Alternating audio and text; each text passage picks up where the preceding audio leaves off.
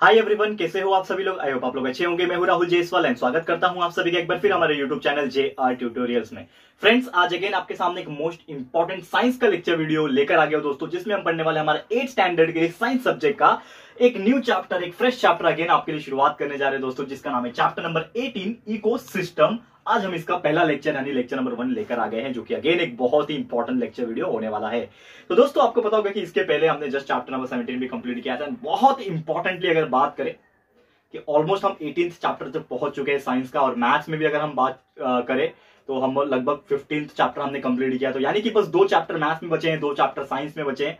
तो होपफुली अगर देखा जाए तो ऑलमोस्ट हम 80 टू 90 परसेंट हमारे syllabus both maths and science में हमने कवर कर लिया है। तो आने वाले कुछ ही दिनों में हम लोग का जो बचा हुआ पार्ट है, जो बचा हुआ सिलेबस जो बचा हुआ चैप्टर है, वो भी हम लोग कंप्लीट कर देंगे। मतलब आपका पूरा पोर्शन जल्द से जल्द कंप्लीट होने वाला है। तो बस आपको यही करना है कि हमारे जितने भी वीडियोस होंगे, आपको बस उतना प्यार देना है दोस्तों, उसको वीडियोस को रेगुलरली देखना है। एक बार देखो, दो बार देखो रिपीटेड वीडियोस देखोगे, बार बार देखोगे तो आपको कंसेप्चुअल नॉलेज बार बार क्लियर होगा और आप उसको लाइफ टाइम भूलोगे नहीं।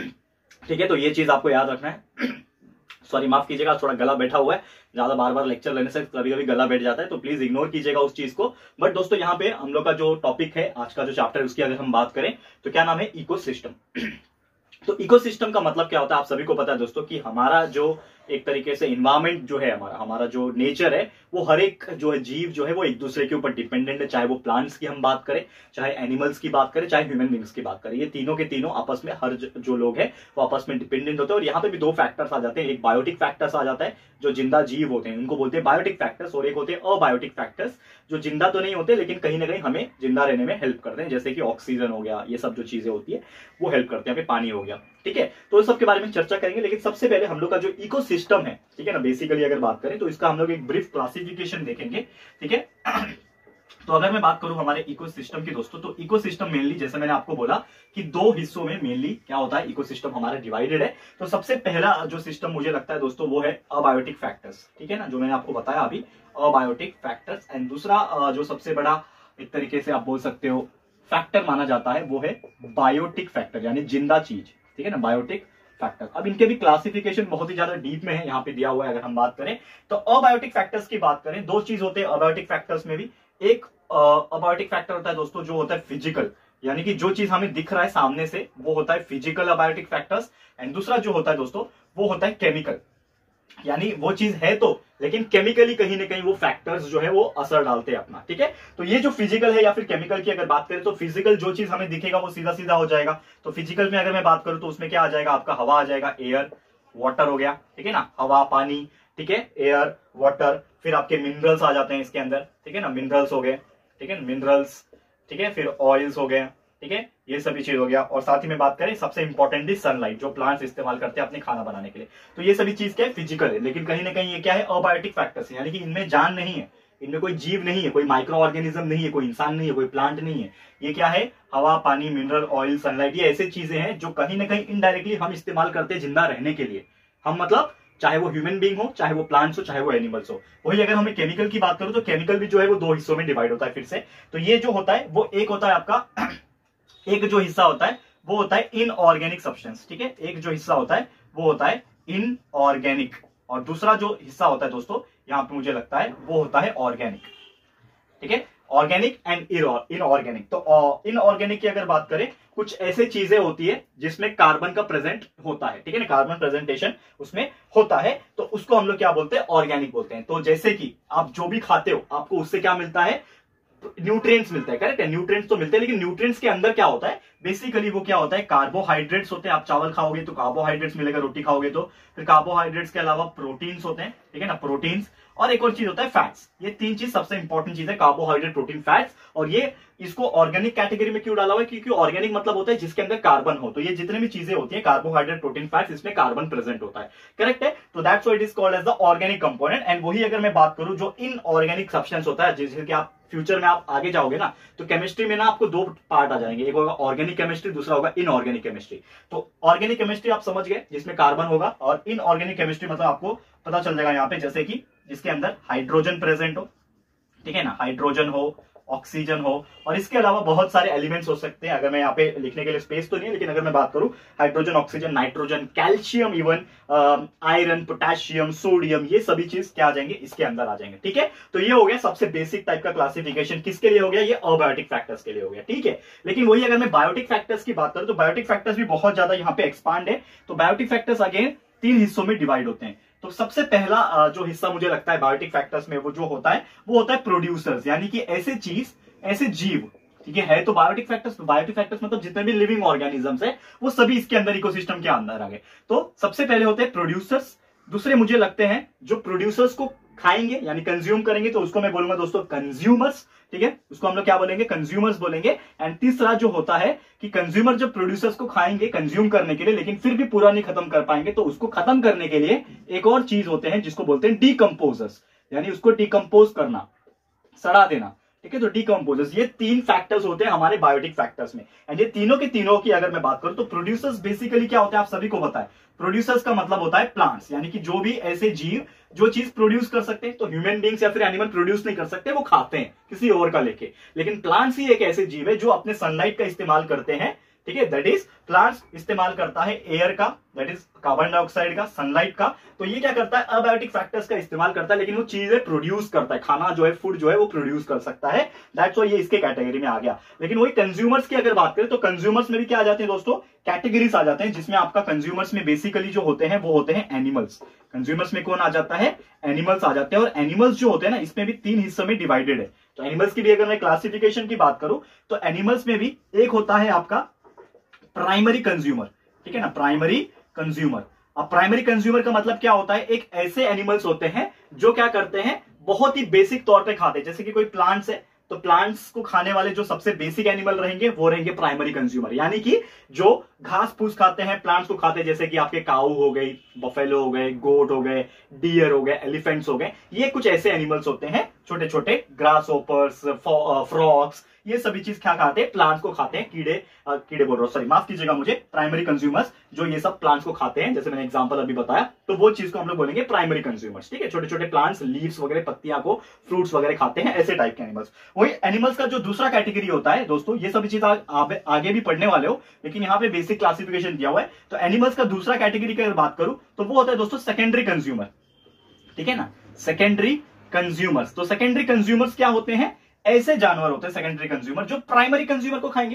क्योंकि यहाँ पे एनिमल्स में प्राइमरी कंज्यूमर कौन थे? जो प्लांट्स को खा रहा था। अब प्राइमरी कंज्यूमर्स ऐसे छोटे छोटे होते हैं स्क्वेरल फ्रॉग फिर आपके डियर ये सब जो होते हैं तो सेकेंडरी कंज्यूमर के एनिमल्स क्या करेंगे? ये प्राइमरी कंज्यूमर्स को अपना खाना बनाएँगे। जैसे इसमें क्या आ जाएगा? स्नेक आ जाएगा तो स्नेक किसको खाएगा? फ्रॉक को खाएगा प्राइमरी वाले को। ठीक है तो ये हो गया। एंड इसमें एक और कैटेगरी हो जाता है एनिमल्स में, जो कि होता है दोस्तों टर्शरी कंज्यूमर टर्शियरी कंज्यूमर लेकिन इसको एक और नाम से जाना जाता है टर्सरी कंज्यूमर को जाना जाता है दोस्तों टॉप कंज्यूमर ठीक है ना? टॉप कंज्यूमर और इसको एक और नाम से भी जाना जाता है, जिसको बोलते हैं प्रीडेटर्स प्रीडेटर्स क्यों प्रीडेटर्स बोलते हैं? क्योंकि ये शिकारी जीव होते हैं, इनका काम ही शिकार करके खाना, ठीक है? तो बेसिकली अगर बात करूँ, जैसे टर्सरी कंज्यूमर तो नाम है तो टर्सरी वाले क्या करेंगे? सेकेंडरी कंज्यूमर के एनिमल को खाएँगे, यानी कि, अब इसमें स्नेक था तो स्नेक फ्रॉक को खा रहा था, लेकिन ये टर्सरी में कौन आ जाएँगे? बड़े बड़े जानवर, जैसे कि लायन टाइगर तो इसमें हिरन थी हिरन को खा रहे थे तो इसको जो भी खाएँगे, वो हो जाएँगे जो टॉप कैटेगरी में आ जाते हैं। कि उनको कोई खा नहीं पाए।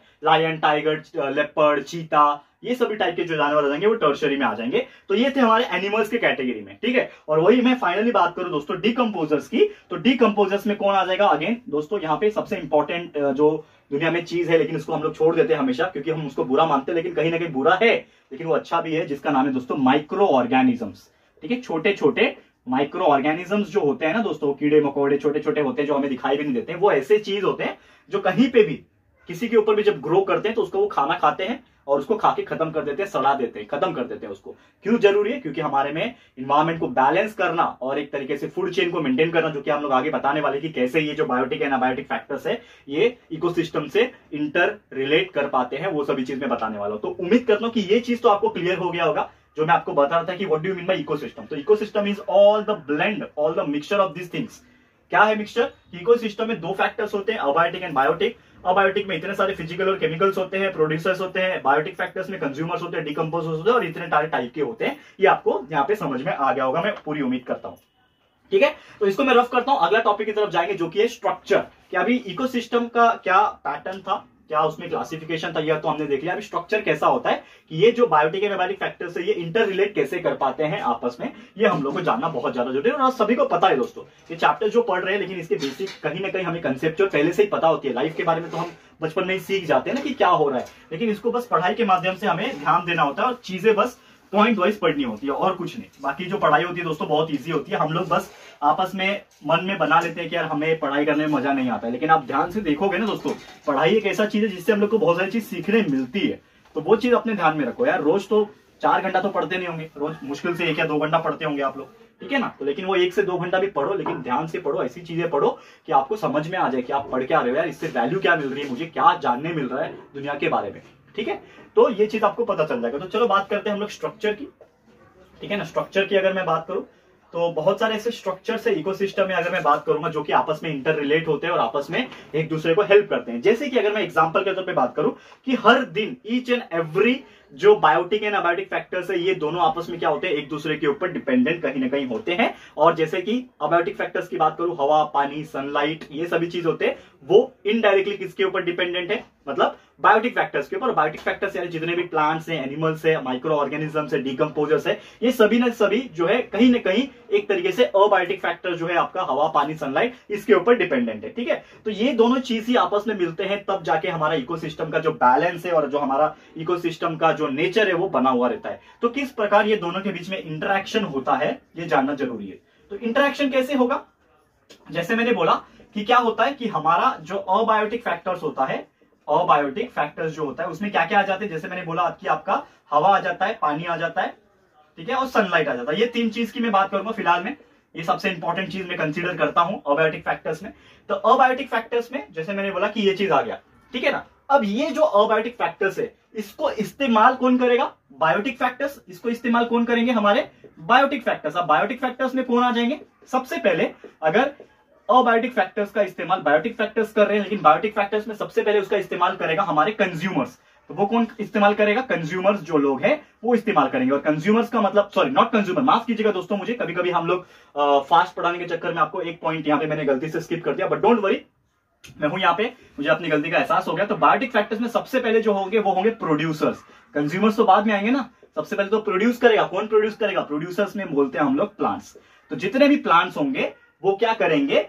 अबायोटिक फैक्टर्स जैसे कि हवा, पानी और सनलाइट ये तीनों चीज़ का इस्तेमाल कौन करेगा दोस्तों? मुझे बताओ। प्लांट्स करेगा, क्योंकि प्लांट एक ऐसा चीज़ है जो हवा भी लेता है कार्बन डाइऑक्साइड हवा मतलब क्या? कार्बन डाइऑक्साइड गैस लेता है, पानी लेता है, ज़मीन से और सनलाइट लेता है, और उसके अंदर, खुद के अंदर क्लोरोफिल पिगमेंट होता है ना? तो उसके हेल्प से वो फोटोसिंथेसिस प्रोसेस करता है। एंड वही प्रोसेस से अपना खाना खुद प्रिपेयर करता है। तो ये प्रोड्यूसर्स जो प्लांट है, वो अपना खाना यहाँ पे बना लेंगे। यानी कि अबायोटिक फैक्टर से ये बायोटिक फैक्टर जो है, जिसका नाम है प्लांट्स प्रोड्यूसर्स उसके पास एनर्जी आ गई अभी। ठीक है? अब ये जो प्रोड्यूसर्स होंगे, ये प्लांट होंगे, इनसे जो एनर्जी लेगा, वो कौन होगा? कंज्यूमर्स कौन लेगा? कंज्यूमर्स लेकिन कंज्यूमर्स में भी कौन लेगा? सबसे पहले कौन लेगा कंज्यूमर्स में? जो हमारे पहले टाइप के एनिमल है, जिनका नाम है दोस्तों प्राइमरी कंज्यूमर ठीक है ना? कंज्यूमर में भी कौन? प्राइमरी कंज्यूमर जैसे कि एग्ज़ाम्पल से हमारे। कोई भी घास खाने वाले या फिर पेड़ पौधे फ्रूट्स फ्लावर्स खाने वाले एनिमल जैसे कि आपके डियर हो गए ग्रास ओपर्स फ्रॉग हो गए छोटे छोटे जीव हो गए स्क्वायरल्स रैबिड ये सभी चीज़ होते हैं, ये सभी इसके अंदर आ गए। तो ये हो गया हमारा सबसे पहला कैटेगरी यानी कि अबायोटिक फैक्टर से एनर्जी प्रोड्यूसर्स या फिर प्लांट्स को मिली, उसके बाद मिली कंज्यूमर्स या फिर प्राइमरी कंज्यूमर्स को। अब यहाँ से एनर्जी कौन लेगा? यहाँ से भी कुछ लोग एनर्जी लेंगे, कुछ लोग हैं यहाँ पे जो पीछा नहीं छोड़ेंगे आसानी से। तो कौन लेगा यहाँ पे एनर्जी अगर मैं बात करूँ तो यहाँ पे आ जाएँगे हमारे अगेन कंज्यूमर लेकिन कौन से वाले कंज्यूमर आएँगे? यहाँ पे आ जाएँगे सेकेंडरी कंज्यूमर तो यहाँ पे कौन आ जाएगा?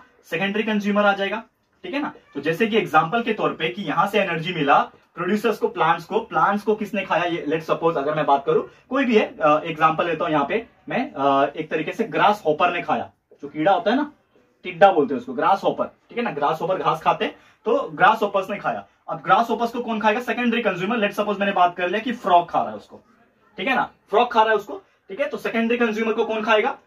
अगेन यहाँ पे अगर मैं बात करूँ तो उसको खाएँगे टर्शरी कंज्यूमर तो टर्शरी कंज्यूमर में कौन आ जाएगा? ठीक है टर्शरी कंज्यूमर में कौन आ जाएगा? यहाँ पे अगर मैं बात करूँ, ठीक है स्नेक का एग्जांपल ले लेता हूँ, ठीक है ना? स्नेक का एग्जांपल ले लेता हूँ, ठीक है? फिर अगेन कोई दूसरा टर्शरी कंज्यूमर में कोई आ जाएगा? ईगल आ जाएगा. ईगल यानी बाज, चिड़िया, ठीक है ना? फिर यहाँ पे ईगल को तो खा नहीं सकता कोई, ये अपने आप मर जाएगी तो डिकम्पोज जाएँगे तो यहाँ पे बीच में क्या आ जाएँगे? डिकम्पोजर्स ठीक है ना? डिकम्पोजर्स आएँगे जो उसको खा के सड़ा के खत्म कर देंगे एंड डिकम्पोजर्स क्या करते हैं? फिर से अबायोटिक फैक्टर्स को रिलीज़ करने कैसे? मैं बताता हूँ। ध्यान से देखो। ये हो गया हमारा पूरा साइकिल कंप्लीट एक तरीके से ये पूरा जो है, ये इंटरेक्शन है। अबायोटिक फैक्टर्स और बायोटिक फैक्टर्स के बीच का इंटरेक्शन है। किस प्रकार हो रहा है? देखो यहाँ पे। ध्यान से। सबसे पहले अबायोटिक फैक्टर्स तो दुनिया ने नेचर ने हमें खुद ने दिया है। ठीक है? हवा सॉरी हवा, पानी लाइट जो है वो खुद ने दिया हुआ है। नेचर से मिला हुआ है ठीक है? तो ये हवा, पानी का इस्तेमाल हमारे प्रोड्यूसर जो है प्लांट वो करते हैं। उससे एनर्जी इनको मिलती है। इनको जो खाएगा कंज्यूमर्स प्राइमरी कंज्यूमर्स उनको एनर्जी मिल गई। उनको जो खाएगा सेकेंडरी कंज्यूमर्स को एनर्जी मिल गई, उनको जो खाएगा टर्जरी कंज्यूमर को एनर्जी मिल गया। टर्जरी कंज्यूमर्स ऐसे होते हैं, जिनको कोई खा नहीं पाता, या फिर मैं एक एग्जांपल मैंने डाल दिया कि लेट सपोर्ट टर्जरी कंज्यूमर में ईगल है तो ईगल को कोई खा नहीं पाएगा।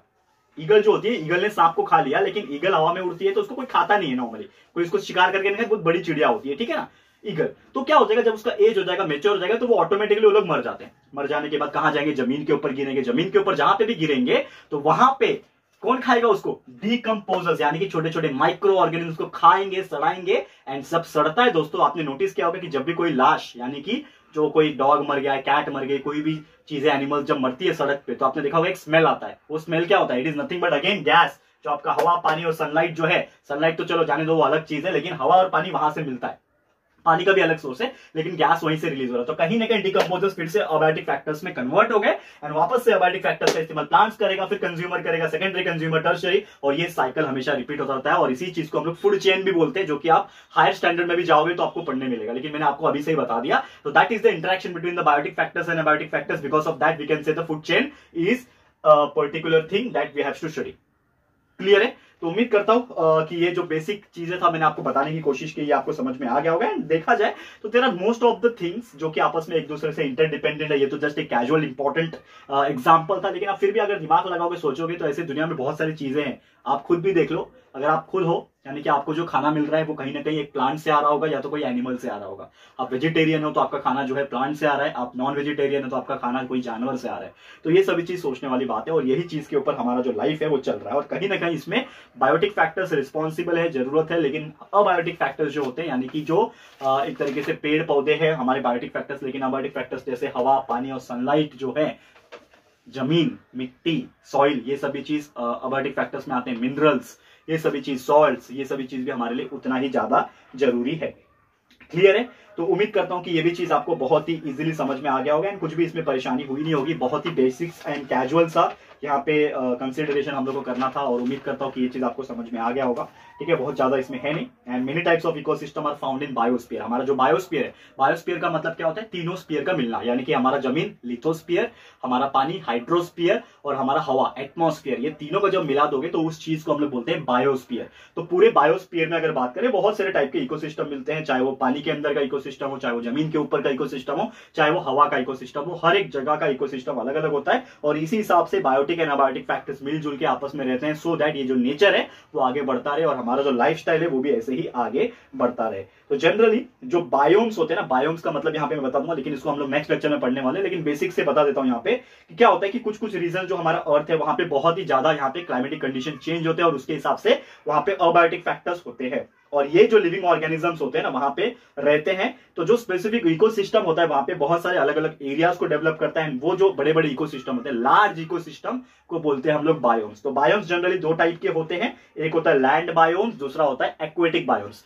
तो एक ऐसा होता है बायोम जो ज़मीन पे रहने वाले जीव है इकोसिस्टम है, उसको लैंड बायोम्स बोलेंगे। जो पानी के अंदर इकोसिस्टम है, बड़ा सा, उसको हम लोग बोलेंगे एक्वेटिक बायोम्स तो ये दोनों बायोम्स की हम लोग बात करेंगे हमारे अगले लेक्चर में। तो आज के लिए इतना ही था दोस्तों। बस आपका लेक्चर यहीं पे मैं स्टॉप करूँगा, क्योंकि दोस्तों बहुत सारी चीज़ें बताया। पहला लेक्चर था इंट्रोडक्टरी लेक्चर था। बहुत सारी चीज़ें आपको समझ में भी आ गई होगी, लेकिन बहुत सारे बायोम्स के जो पार्ट होते हैं, यानी कि ज़मीन के ऊपर किस तरह से इकोसिस्टम होता है और जो एक्वेटिक प्लांट्स जो पानी के अंदर रहते हैं, उनमें, उनके अंदर कैसा होता है बायोम्स तो ये सभी चीज़ हमारे अगले लेक्चर में हम देखेंगे। तो जल्द लेकर आ जाएँगे आपके लिए लेक्चर नंबर टू तो आज के लिए इतना ही। हमारा ये वीडियो यहीं पे समाप्त होता है। तो कैसा लगा है दोस्तों? हमारा आज का ये लेक्चर वीडियो प्लीज़ हमें कमेंट करके बताइएगा, अपनी राय और सजेशन ज़रूर से दीजिएगा दोस्तों। और अगर आपको ये वीडियो पसंद आया है यूजफुल लगा है फ्रेंड्स तो प्लीज़ वीडियो को लाइक कीजिएगा शेयर कीजिएगा, अपने सारे फ्रेंड्स लोग को फटाफट से शेयर कर देना। एंड अगर आपने अभी तक इस चैनल को सब्सक्राइब नहीं किया है तो फटाफट से हमारे चैनल को भी सब्सक्राइब कर देना, साथ में बेलाइकन को हिट कर देना दोस्तों, ताकि जब भी हम लोग वीडियो लेकर आएँगे, आप लोग को नोटिफिकेशन मिलती रहेगी। ठीक है फ्रेंड्स तो मिलते हैं हमारे अगले वीडियो में। ये वीडियो देखने के लिए thank you and good bye